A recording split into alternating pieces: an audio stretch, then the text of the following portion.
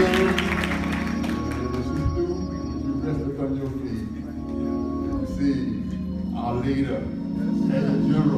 person for just a few seconds.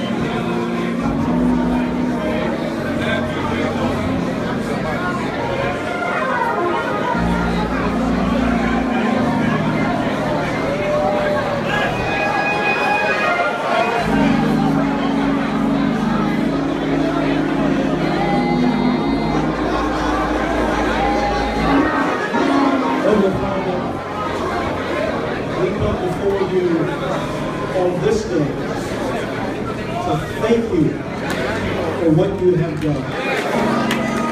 God, I appreciate every opportunity that you have given to me. Lord, I ask that you would bless my mouth, help me to say a word to your people. And Lord, bless the adjutancy. Bless our presiding bishop. Bless the leaders of our church. And Lord, I ask that you would reduce Rudolph, and I rebuke the enemy at all levels. In Jesus' name we pray. Thank God. Amen. Come on, put your hands together and bless the Lord.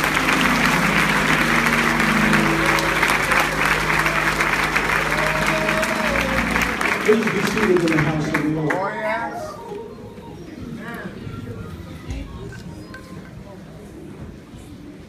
First and foremost, I want to give honor to the Lord who has allowed all of us to be here on today. Before I go on any further, and I, I promise you I will not be long on today, but I would like to recognize a few individuals that mean a great deal to me. First and foremost, I ask that all of the bishops who are here, I'm going to do it this way if it's all right with everybody. Yes, sir. All of the bishops that are here, I ask that they would stand because they didn't have to be here on this morning. I appreciate all the bishops. I just ask that you stand. Come on, give all of these bishops a hand. Come on, let's give them a hand.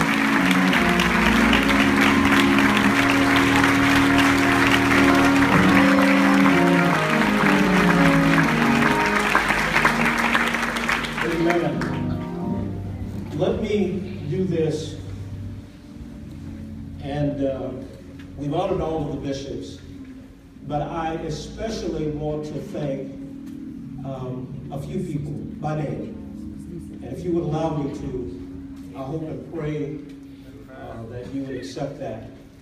First and foremost, I want to thank God for General Board Member J. Drew Sheard being in the house.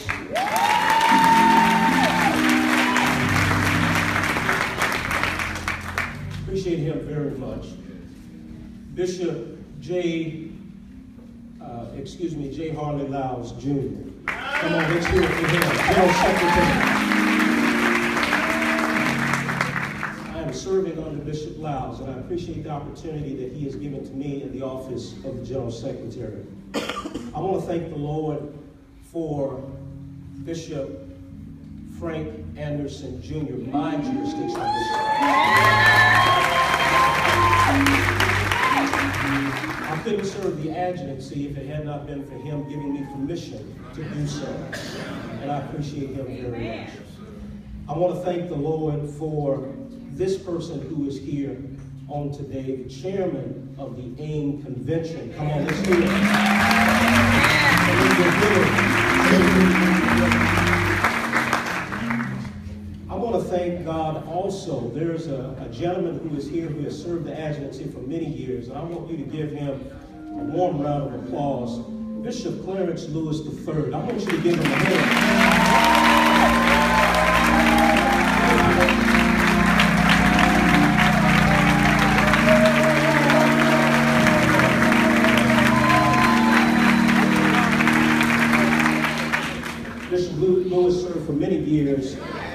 O.T. Jones, and uh, he served as our deputy adjutant general for many years, and I appreciate his presence on today. And then let me let me do this. The former adjutant general of this great church, currently the member of the general board, I appreciate him very much. Ten years ago, he gave me an opportunity to serve as scribe. And I really didn't know exactly what all of that meant. But uh, I later found out what he was what he was doing, pushing and supporting me. And I appreciate that. Bishop, I want to appreciate you very much.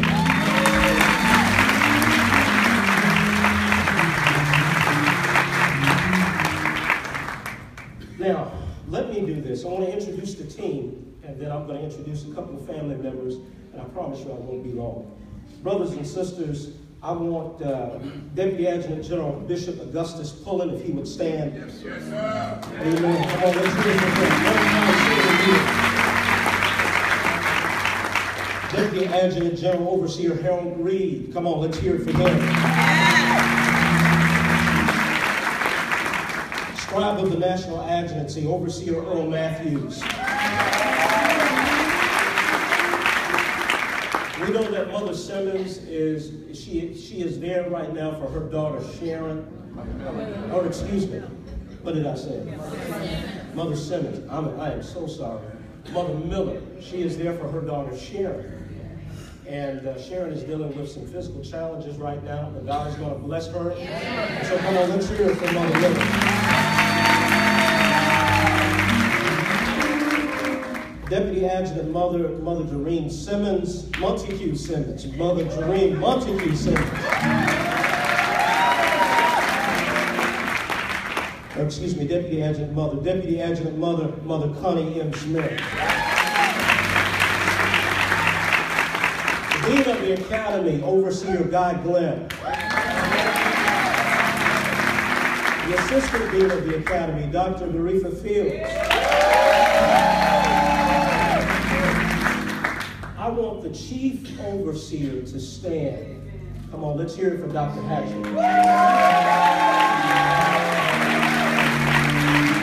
And all of the overseers and adjutant mothers, I want you to stand.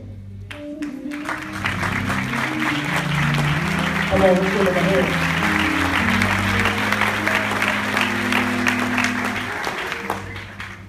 Now, I really got to thank these people. Yes.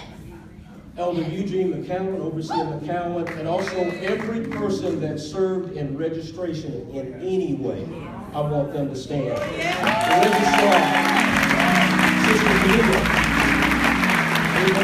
Thank God. On, y'all.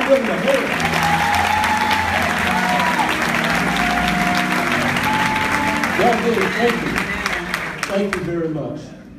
I want to thank God. My wife and I, we don't have any children, but she says that her son, we say that her, her excuse me, her brother is our son, and uh, my niece is our daughter. And my niece is here all the way from Detroit. Come on, yeah, you got to stand, baby. Here. I appreciate her very much. And brothers and sisters, you got to understand, I wouldn't be Robert Rudolph.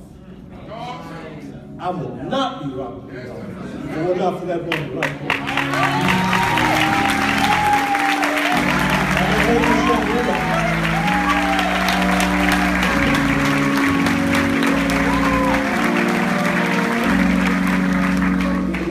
My wife because I love her.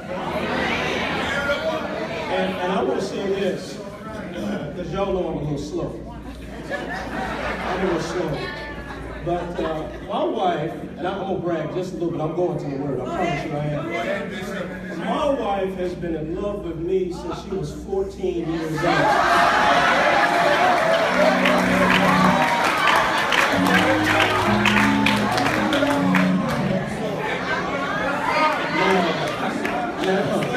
I didn't figure it out until I was about 34. I'm real slow, real slow. But I ain't slow no more.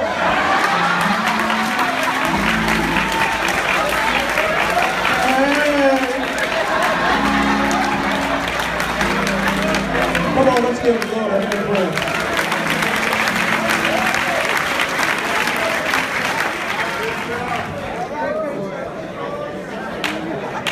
Well, bless the Lord.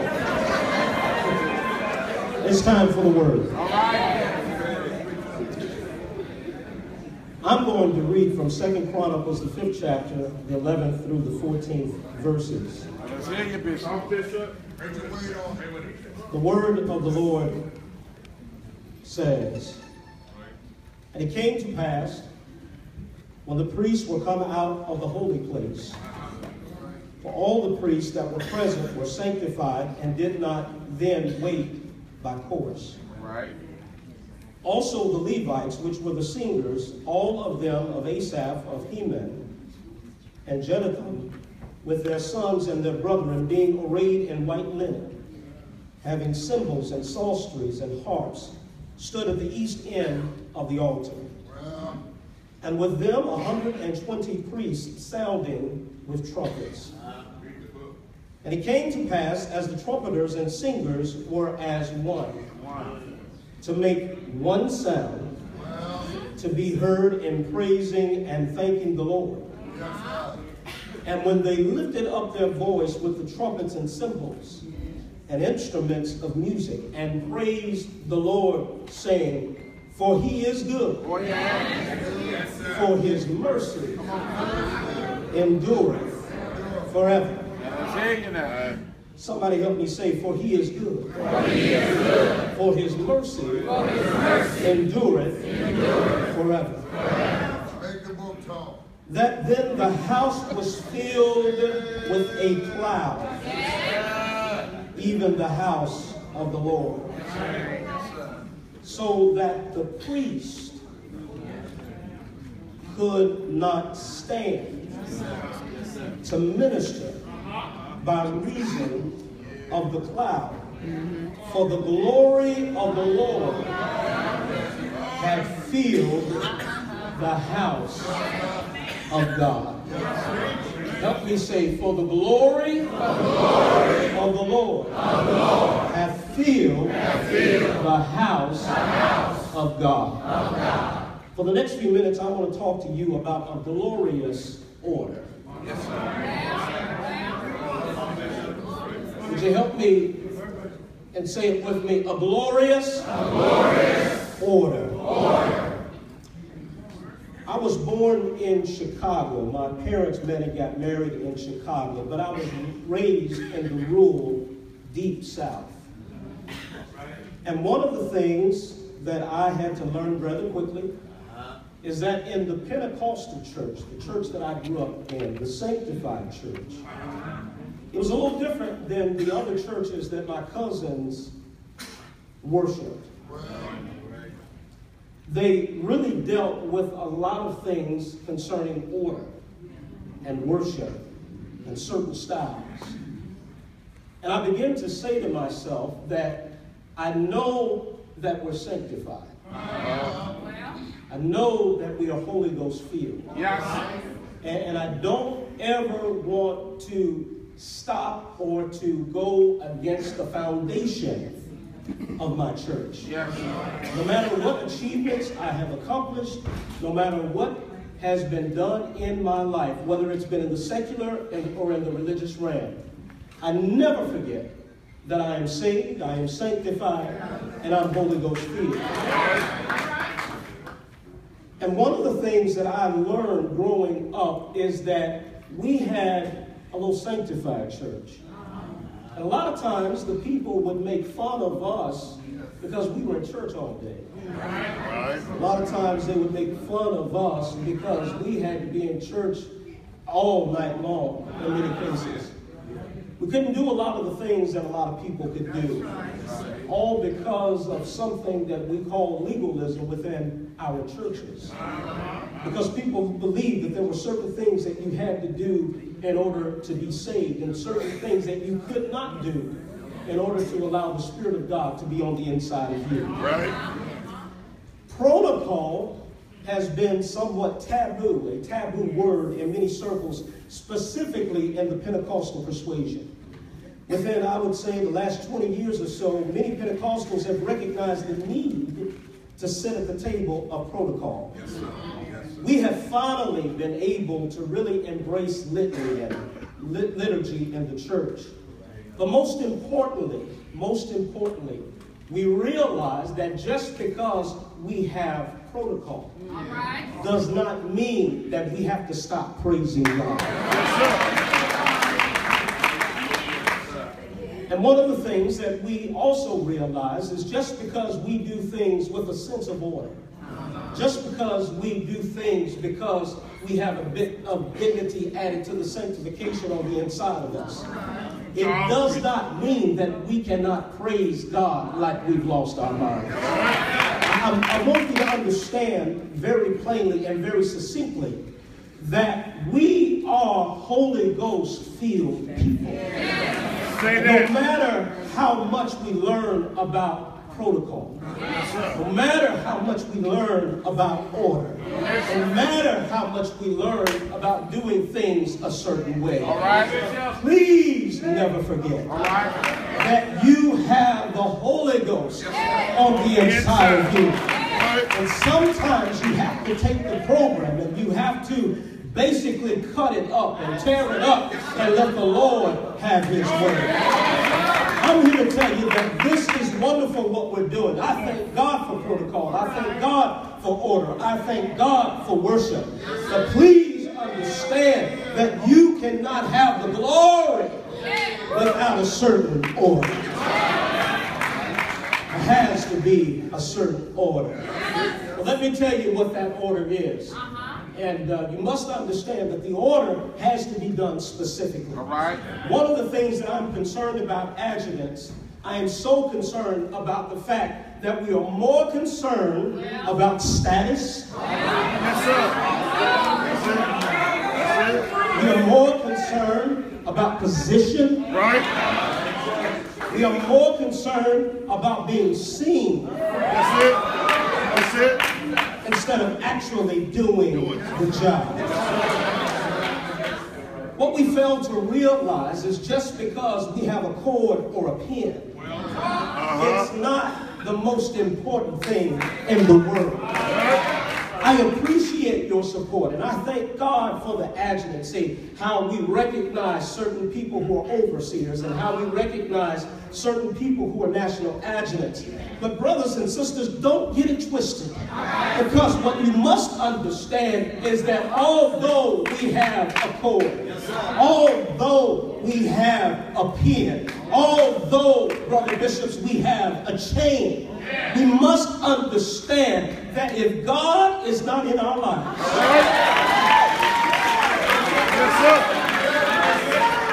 if God is not in our lives, we won't be able to do the will of God. Let me tell you why I'm so concerned. Let, let me tell you why I'm so concerned. Because I, we, 10 years, for 10 years, I've gone to 225 funerals of jurisdictional bishops. 225. And for the sake of getting in trouble, for the sake of getting in trouble, I, maybe I shouldn't say this, but it's very interesting.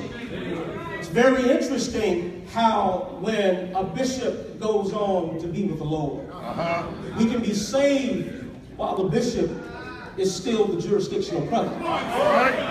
We can be sanctified as long as the bishop is still the jurisdictional president. We can be Holy Ghost filled as long as the bishop is the jurisdictional president. But it seems to me that we close our eyes, when the bishop closes his eyes, we start backsliding. Because the most important thing at that point to many people is who is going to be the next person in line to be the bishop. Well, I want to tell you something that really bothered me. It really, it really bothered me because y'all told me that you had to be saved. That- that's what y'all told me. You told me that you had to be sanctified. You told me that you had to be filled with the Holy Ghost. That's what you told me. All right. But the but the demeanor that I'm seeing during this particular period of time, but the actions that I'm seeing during this particular time, it- it is not saintly. It's, it's not saintly. It's not saintly. It seems like we'll do anything in order to get a change. It seems like we'll do anything in order to get a position. It seems like we'll do anything in order to be recognized.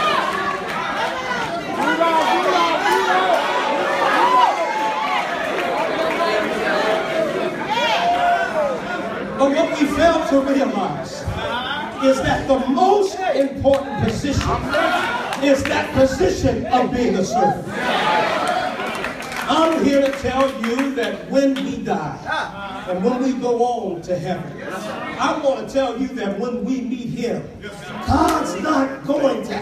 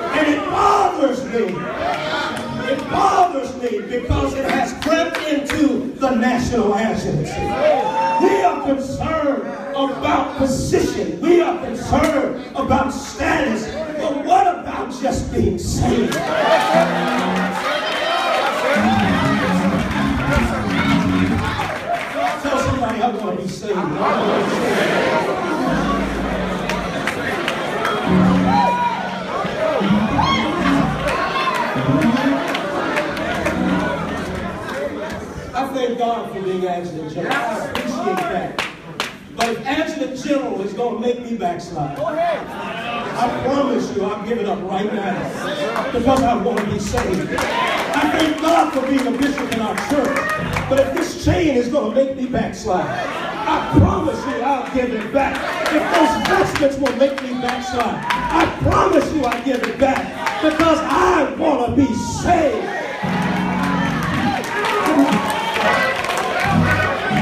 Preach, Bishop! Preach! I want to be saved. I know I'm a pastor, but I want to be saved. I know I'm a son of the church, but I want to be saved. I want to be saved. I want to do what's right. How many out there want to be saved? God so loved the world that he gave his only begotten Son. And whosoever believeth in him should not perish, but have everlasting life. God sent his Son into the world not to condemn the world, but that the world through him might be saved. I want to be saved. And in order for glory to come, you've gotta have some saved folk in the house.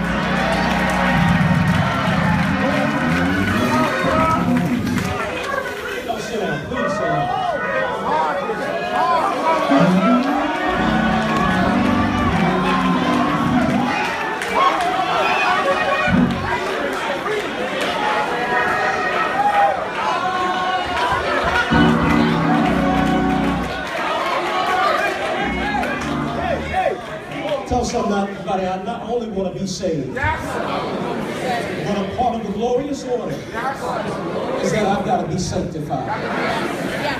In other words, brothers and sisters, there are some things that you just can't do. Not because you're a member of the Church of God in Christ. But there are just some things you ought not do because you are sanctified. Set yourself apart. You gave your life to the Lord. You ought to be sanctified. You ought to be set apart. Preachers, we can't do what other preachers do. We got to be saved and sanctified. We got to be saved and sanctified. We, shouldn't have to hear about this, that, and the other.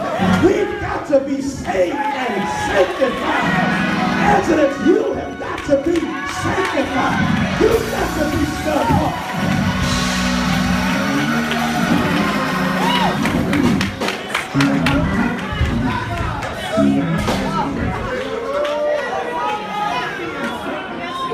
One last thing I want to tell you.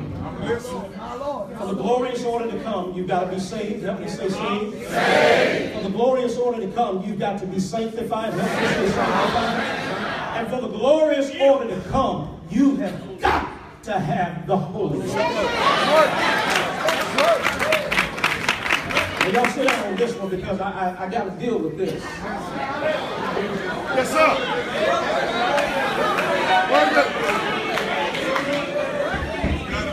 Told you I grew up in the rural South. And before, literally before, I could play the drums when I was five years old. Come on. All right now. Come on. Before I could play the drums, I got on the drums one day, and there was a church mother there. And she came to me, she said, Baby, I'm serious, y'all. I'm very serious. Baby, are you are you saved? Didn't really understand what you were saying. And, and Mother Johnson, Mother Olive B. Johnson, Oh, yes. she escorted me off the drums. Literally escorted me off the drums. And I'm gonna be honest with you, I got so I got saved so early because I wanted to play the drums. I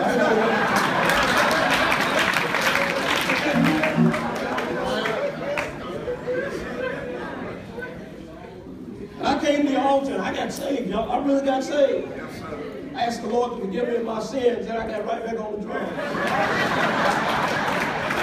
I ain't gonna lie, I'm gonna be real with you. And when I got back on the drums, this time, Mother Olive B. Johnson and Mother Ruthie Davis came to me. And they said, baby, I'm, telling y'all the truth. Yes, God, I'm telling y'all the truth. You got saved? Yes, ma'am. I got saved. I kept on beating the drums. They said, baby, you, you got the Holy Ghost yet? I'm like, now, wait a minute. Told man be saved. Now, let me get on, leave me alone. You know what I'm saying? And both of them kindly escorted me off. I'm talking in the middle of service, y'all. I was so embarrassed. I was so hurt. But I not only got saved again, because I hadn't been saved again, but I got filled with the Holy Ghost. And I wasn't playing, y'all. Because what happened to me is I began to feel God's presence on the inside. And I began to speak in tongues as the Spirit of God gave utterance. And I'm so glad that Mama Johnson made me get off the drums. I'm so glad that Mama Ruthie made me get off the drums. Because they wanted to make sure in that small town, in that small church, that I was saved and filled with the Holy Ghost. Now, now here's where I have a problem with most of us in the Church of God in Christ. Is that a lot of times we never have a record. We started preaching at a certain age. We started participating in the church at a certain age. We started doing things. We started shouting at a certain age. We, we started doing things in the church at a certain age. We're, we're church kids. We grew up in the Sunshine Band. We grew up in YPWW. Yes, And there never was a record of us ever coming and receiving the Lord as our personal Savior. There never was a record of us receiving the baptism of the Holy Ghost. There never was a record of anybody hearing you speak in any kind of tongues. There, never was a record of you feeling God's Spirit. You just helped somebody. And that bothers me. Yes. Because we place emphasis upon position. We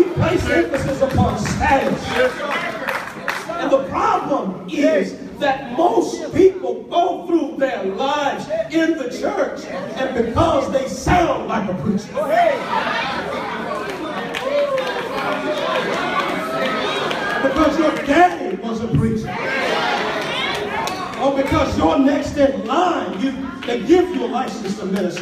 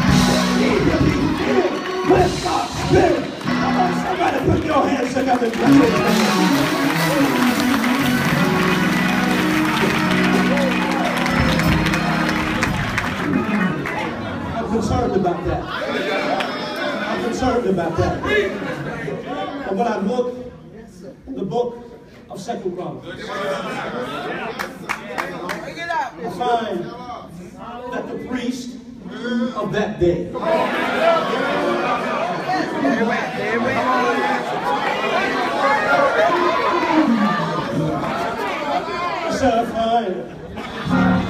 that the priest of that day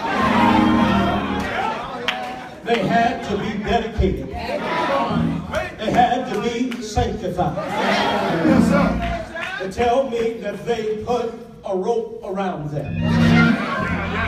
And the other part of the rope was extended into the temple. And when they went into the temple, the Bible tells me that they had to have God's Spirit and God's presence on the inside of them.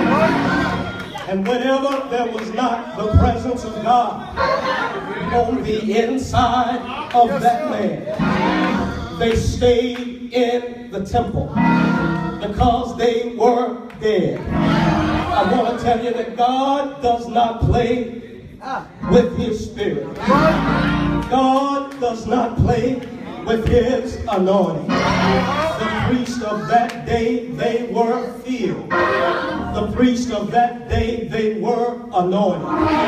And the Bible says that they went out there and they began to go to war. And the Bible says that before they went to war, before they did anything for the Lord, they begin to clean themselves up. I want to know in here, I want to know in here, does anybody in here want to be cleaned up? I mean, I'm not talking about an outward appearance, but I'm talking about an inside situation. Come over at your neighbor and say, neighbor, oh neighbor, neighbor, on the inside? Come on, touch two or three people and say, are you clean? Are you clean? Are you clean? Are you clean? Are you clean on the inside? Come on, give God a hand praise.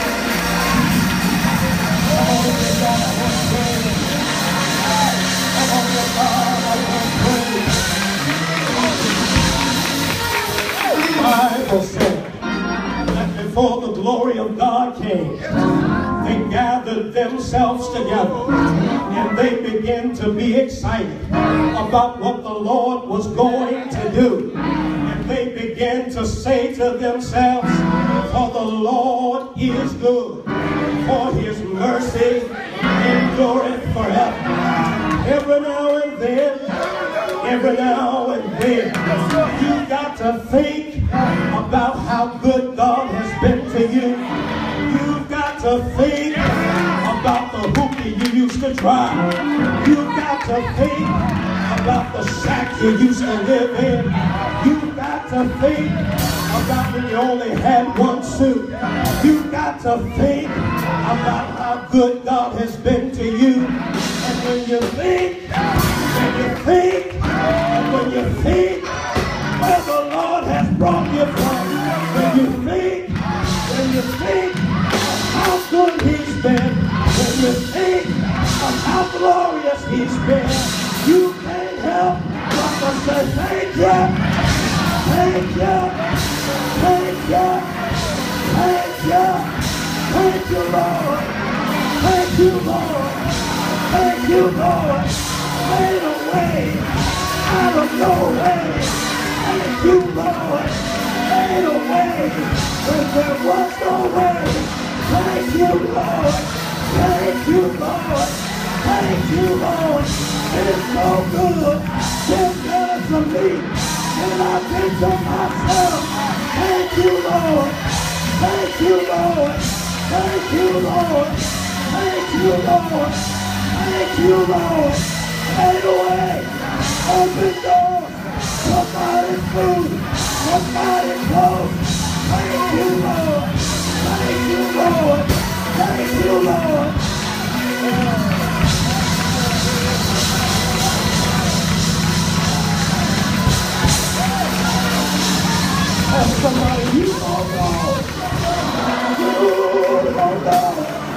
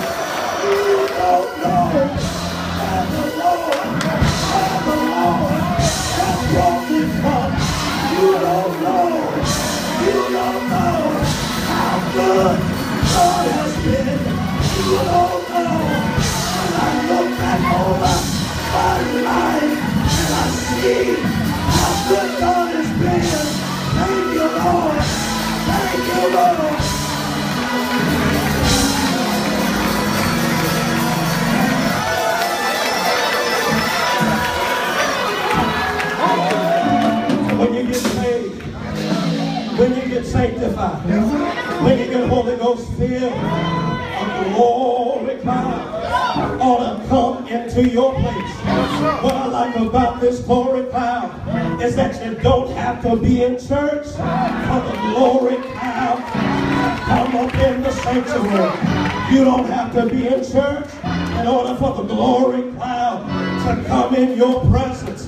You just begin to thank God. You just begin to praise God.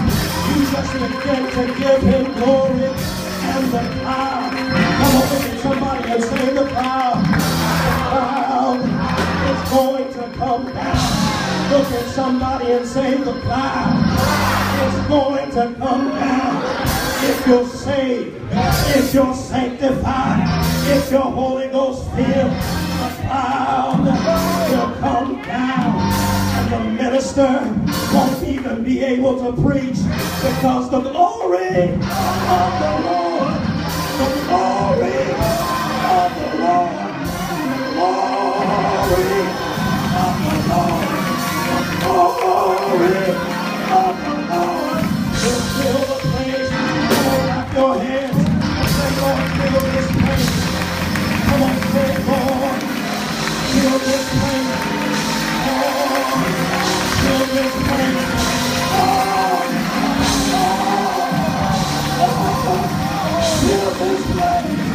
Fill this place. Fill this place. Fill this place. Fill this place. Fill this place. Come on, give him praise. Give him praise. Come on, give him praise. Come on, give him praise. Come on, give him praise. Come on, give him praise. Come on, give him praise. Come on, give him praise.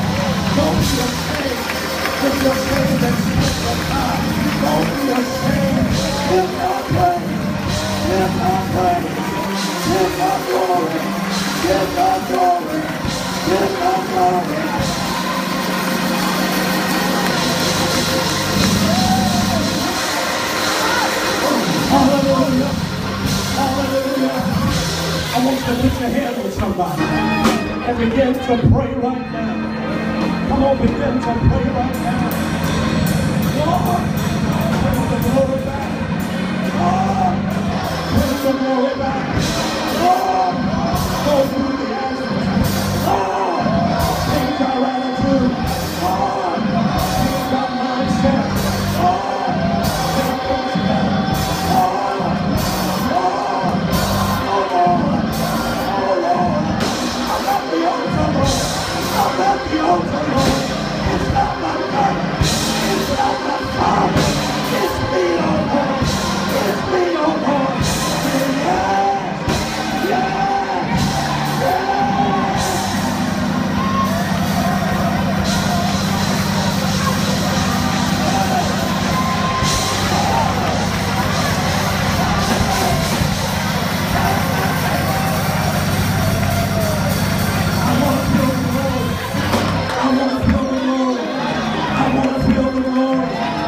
Come on and feel his presence. Come on and praise the Lord. Come on and praise